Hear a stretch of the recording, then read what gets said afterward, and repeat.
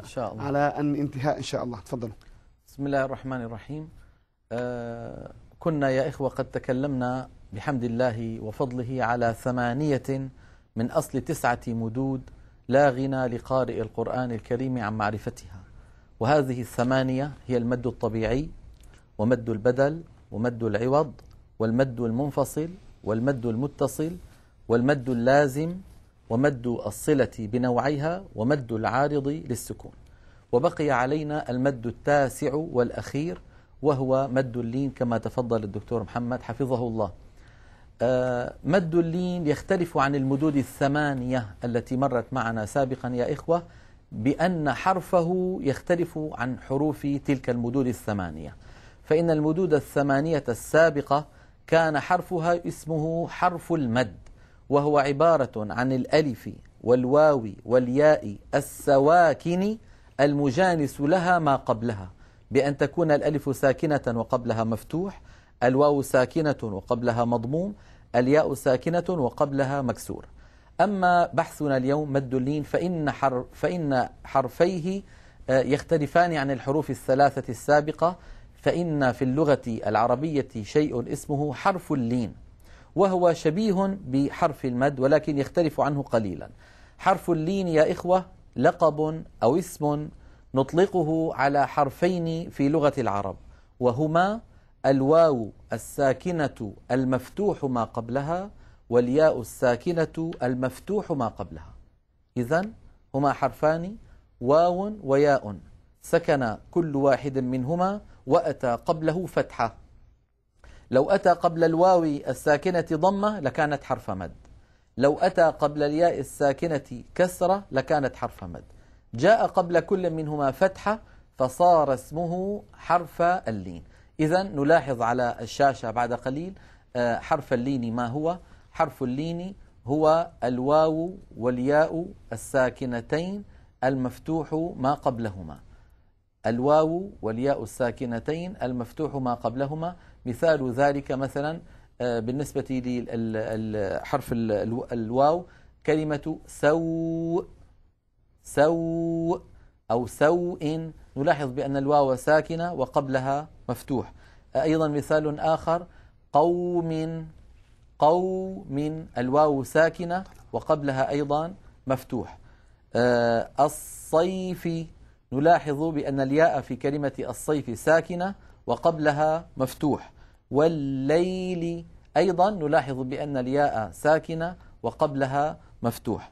وسمي هذان الحرفان بحرفي اللين لأنهما يخرجان بيسر ولين من غير كلفة. إذا هذان هما حرفا اللين يا إخوة. حرف اللين هما الواو والياء الساكنتان المفتوح ما قبلهما. هما مادة المد التاسع والأخير من المدود القرآنية. ما هو هذا المد التاسع؟ اسمه مد اللين. وتعريفه مشابه تماما لتعريف المد العارض للسكون وهو المد المد الثامن الذي كنا قد تكلمنا عنه. أذكركم به كما قال الأخ معاذ هو أن يأتي حرف المد وبعده حرف ساكن سكونا عارضا. بينما هنا في حرف اللين نقول هو أن يأتي حرف اللين. وبعده حرف ساكن سكونا عارضا. لاحظوا التعريف هو هو. وإنما هناك نقول حرف المد وهنا نقول حرف اللين. إذا نلاحظ على الشاشة بعد قليل تعريف مد اللين كما ذكرته لكم. فمد اللين هو أن يأتي حرف اللين وبعده حرف ساكن سكونا عارضا. وذلك نحو خوف عند الوقف عليها. نوم. أيضا عند الوقف عليها. لاحظوا بأن الواو ساكنة والنون قبلها مفتوحة. قريش. لاحظوا بأن الياء ساكنة وقبلها فتحة. لا ضير. الياء أيضا ساكنة وقبلها مفتوح.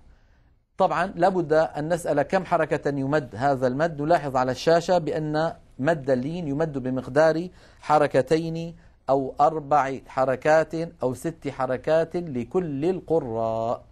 إذا نلاحظ يا إخوة الشبه الكبير بين مد اللين وبين المد العارض للسكون. ذاك تعريفه هو أن يأتي حرف المد وبعده حرف ساكن سكونا عارضا وهذا هو أن يأتي حرف اللين وبعده حرف ساكن سكونا عارضا ذاك يمد حركتين أو أربع حركات أو ست حركات وهذا أيضا يمد بالمقدار نفسه. وأمثلة ذكرتها لكم. ممكن أن أسأل بعض الإخوة معنا عن الصفحة التي قرأناها الآن منذ قليل. أخ عبد الله الصفحة التي قرأناها الآن هل لك أن آه، تخرج لنا منها مد لين آه، واوي؟ يعني بمعنى واو ساكنة قبلها مفتوح. نعم المثال في الصفحة في كلمة فرعون. نعم. كدأب آل فرعون عند نعم. الوقف نعم. عليها. قف عليها لو سمحت. كدأب آل فرعون. نعم. إذا لاحظنا كيف مد أخونا عبد الله صوته في كلمة فرعون فوقف عليها أربع حركات. آه، أخونا هتان ممكن تبحث لنا في الصفحة التي قرأناها عن مد لين يائي يعني ياء ساكنة وقبلها مفتوح. كما في قوله تعالى العين من قوله يرونهم مثليهم رأي العين حال الوقف. إذا يرونهم مثليهم رأي العين عند الوقف عليها. قفل عليها لو سمحت. يرونهم مثليهم رأي العين. نعم. إذا لاحظنا كيف مد أخونا هتان صوته في كلمة العين. أربع حركات. وكان يستطيع أن يمدها أيضا ست حركات أو أن يقصرها كما يفعل في الوصل. هذا هو آه، مد اللين. مد سهل بسيط ما فيه صعوبة. لكن بينه وبين العارض للسكون كما قلت لكم علاقة. ما هي هذه العلاقة؟ وماذا ينبغي على القارئ فيها؟ بحوله تعالى نذكره نذكر ذلك في الحلقة القادمة بإذنه تعالى. إن شاء الله. وبهذا نكون قد تكلمنا على المدود التسعة. لعلنا إن شاء الله نفرد حلقة لمراجعة المدود التسعة وإن كان بعض يعني النسيان قد طرأ عليها عند بعض الإخوة المشاهدين فننفض غبار النسيان عنها بحيث تكون تعاريف هذه المدود التسعة ماثلة في الذهن حالة قراءتنا لأنه لا غنى لنا عن معرفتها جميعا. هذه المدود التسعة حالة قراءة القرآن ولا يغني معرفة بعضها عن بعض ولا يضير الجهل بغيرها لأنه لم يعد هناك غيرها. إذا وجدتم في بعض كتب التجويد أسماء أخرى غير التسعة التي عددناها فليست نوعا من أنواع المد وإنما هي لقب من ألقاب المد. تجدون ببعض كتب التجويد مد الفرق ومد التمكين وأسماء أخرى. هذه ألقاب يا إخوة وليست أنواعا من أنواع المد. هي لابد أن تؤول إلى واحد من التسعة التي ذكرناها لكم.